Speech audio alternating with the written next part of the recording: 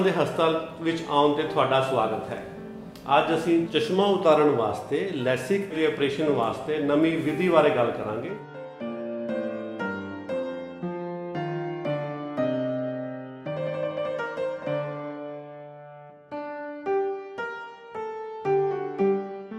ਚਸ਼ਮਾ ਉਤਾਰਨ ਵਾਸਤੇ ਲੈਸਿਕ ਤਕਨੀਕ ਦੇ ਦੋ ਚਰਨ ਹੁੰਦੇ ਹਨ। ਪਹਿਲੇ ਚਰਨ ਵਿੱਚ ਅੱਖ ਦੀ ਪੁਤਲੀ, ਯਾਨੀ ਕਿ ਕਾਰਨੀਆ ਵਿੱਚ ਇੱਕ ਫਲੈਪ ਬਣਾਇਆ ਜਾਂਦਾ ਹੈ।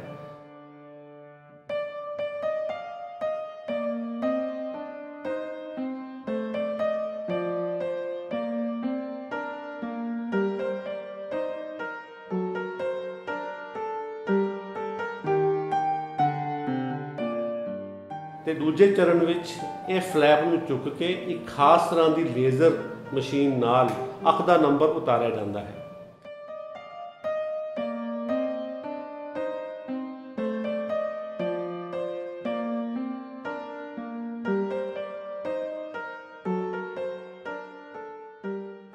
ਅੱਖ ਦਾ ਨੰਬਰ ਉਤਾਰਨ ਦਾ ਤਰੀਕਾ ਦੋਨੋਂ ਤਰ੍ਹਾਂ ਦੀ ਲੈਸਿਕ, ਚਾਹੇ ਉਹ ਬਲੇਡ ਫ੍ਰੀ ਹੈ, ਚਾਹੇ ਬਲੇਡ ਵਾਲੀ ਹੈ, ਇੱਕੋ ਜਿਹਾ ਹੁੰਦਾ ਹੈ। ਪਰ ਫਲੈਪ ਬਣਾਉਣ ਦੇ ਤਰੀਕੇ ਵੱਖ-ਵੱਖ ਹਨ। ਸਧਾਰਨ ਲੈਸਿਕ ਵਿੱਚ ਫਲੈਪ ਬਲੇਡ ਨਾਲ ਬਣਾਇਆ ਜਾਂਦਾ ਹੈ ਤੇ ਇਸ ਤਕਨੀਕ ਨਾਲ ਫਲੈਪ ਬਣਾਉਣ ਲੱਗੇ ਫਲੈਪ ਨੂੰ ਨੁਕਸਾਨ ਹੋਣ ਦਾ ਅੰਦੇਸ਼ਾ ਹਮੇਸ਼ਾ ਬਣਿਆ ਰਹਿੰਦਾ ਹੈ। ਫਲੈਪ ਕਈ ਵਾਰੀ ਫਟ ਸਕਦਾ ਹੈ, ਕਈ ਵਾਰੀ ਆਪਣੇ ਜੋੜ ਤੋਂ ਵੱਖ ਵੀ ਹੋ ਸਕਦਾ ਹੈ। ਇਸ ਕਰਕੇ ਆਪਰੇਸ਼ਨ ਦੇ ਨਤੀਜੇ ਕਈ ਵਾਰੀ ਬਹੁਤ ਚੰਗੇ ਨਹੀਂ ਆਉਂਦੇ। ਇਸ ਦਾ ਆਪਰੇਸ਼ਨ ਤੇ ਮਾੜਾ ਪ੍ਰਭਾਵ ਪੈਂਦਾ ਹੈ।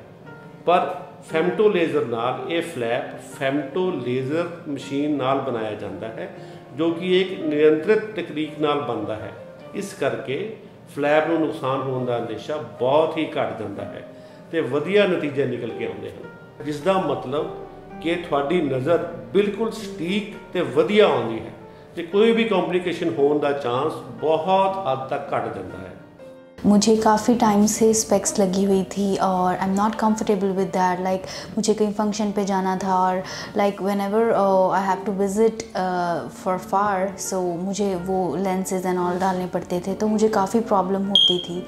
So I decided to have my operation I do my operation femto LASIK in Duggal hospital so मुझे बिल्कुल भी पेन नहीं हुआ। मैं गई और एकदम से बाहर आ गई। बिल्कुल भी पेन कोई कट नहीं। मुझे सब कुछ विजिबल है। I am hopefully I'm rid of this specs. I don't want that as well. So thank you, the Hospital and the team as well. Thank you.